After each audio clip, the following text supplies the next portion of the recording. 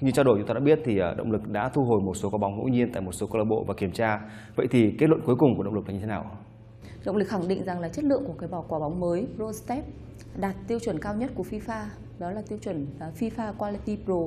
Cái phần mực in trên họa tiết quả bóng bị phai màu nhanh, không hoàn hoàn toàn không ảnh hưởng gì đến chất lượng của quả bóng cả. Phần mực in bị phai màu nhanh cũng à, một phần là do cái thời gian mà được chuẩn bị bóng để ờ, xuất một cái lô hàng bóng đầu tiên cho VPF để chuyển đi các đội nó hơi gấp. Thế nên là cái việc kiểm soát ờ, chưa được thật kỹ lưỡng cái chất lượng mực. Vì vậy là nó dẫn đến tình trạng là chất lượng của cái mực in đó nó phai màu nhanh nhưng ờ, cái số lượng này thì nó cũng chỉ chiếm một cái số lượng rất là nhỏ trên tổng cái số lượng mà tài trợ cho VPF với tất cả những cái lô hàng sau thì chúng tôi cam đoan là sẽ kiểm soát được tuyệt đối uh,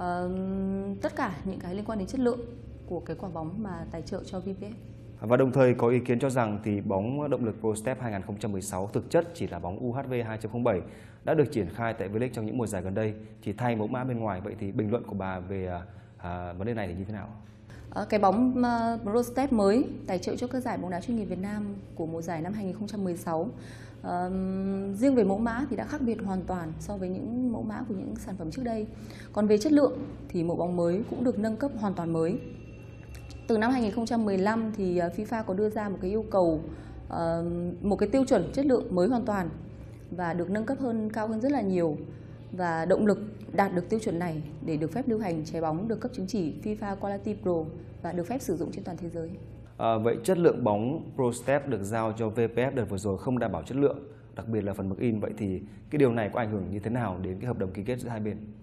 À, hợp đồng giữa động lực và VPF thì đã được ký rồi và đã được thống nhất giữa hai bên. Còn ờ, mình nghĩ một cái việc nhỏ như này thì chắc cũng không ảnh hưởng gì cả đến cái mối quan hệ cũng như là cái hợp tác giữa hai bên cả. Với cái số lượng bóng đã chuyển đến ờ, VPF và chuyển cho các câu lạc bộ tập luyện thì động lực sẽ có động thái như thế nào với các câu lạc bộ về số bóng bị lỗi nói trên? Với tất cả những mẫu bóng mà bị lỗi về sản phẩm mực in thì động lực sẽ đổi mới hoàn toàn và sẽ chuyển tới đây tất cả các câu lạc bộ khi các câu lạc bộ có yêu cầu